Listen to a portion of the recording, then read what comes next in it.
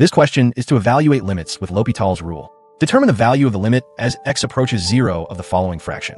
The numerator is sine of x minus tangent of x, and the denominator is x cubed. First step is to direct substitution and identify the indeterminate form. First, let's substitute 0 for x in the expression. The numerator becomes sine of 0 minus tangent of 0, which is 0 minus 0, resulting in 0. The denominator is 0 cubed, which is also 0. This gives us the indeterminate form of 0 divided by 0, which tells us we need to use a special method to find the answer. Next step, first application of L'Hopital's rule. Now we apply L'Hopital's rule. We take the derivative of the top and the bottom separately. The derivative of the numerator, sine of x minus tangent of x, is cosine of x minus secant squared of x. The derivative of the denominator, x cubed, is 3 times x squared. Let's check this new limit by plugging in 0 for x. The numerator becomes cosine of 0 minus secant squared of 0, which is 1 minus 1, or 0. The denominator becomes 3 times 0 squared, which is 0. We still have the form 0 divided by 0, so we need to apply the rule again. Next step, second application of L'Hopital's rule. Let's repeat the process. The derivative of our new numerator, cosine of x minus secant squared of x, is negative sine of x minus 2 times secant squared of x times tangent of x.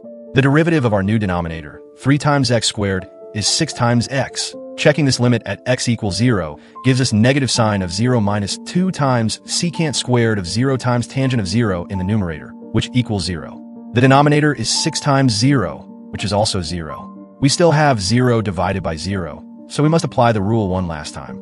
Next step, third application and final evaluation. For our third application, the derivative of the numerator is negative cosine of x minus the quantity of 4 times secant squared of x times tangent square of x plus 2 times secant to the fourth power of x. The derivative of the denominator, 6 times x, is simply 6. Now, we can substitute 0 for x into this final expression. The numerator becomes negative cosine of 0 minus 4 times secant squared of 0 times tangent square of 0 minus 2 times secant to the fourth of 0. This calculates to negative 1 minus 0 minus 2, which equals negative 3. The denominator is 6. Therefore, the final answer is negative 3 divided by 6, which simplifies to negative 1 half. That's it for this question solving. This video is based on our math tutoring blog and class recordings. Hope you enjoyed it. Please subscribe to our channel Math Tutor 8285 and turn on the notification bell. Press the like button. Thank you so much.